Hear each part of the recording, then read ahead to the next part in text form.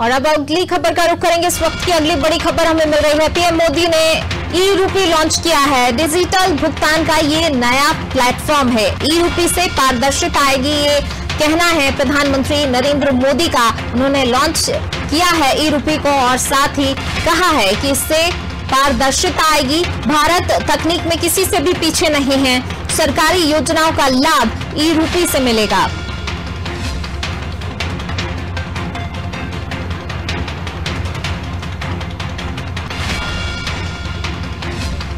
प्रधानमंत्री नरेंद्र मोदी ने ई रूपी को लॉन्च कर दिया है।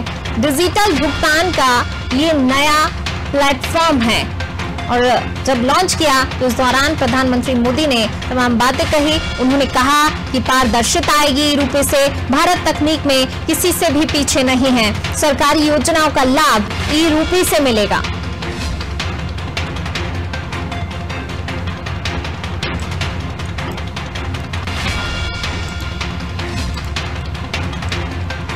प्रधानमंत्री ने ई रूपी लॉन्च कर दिया है।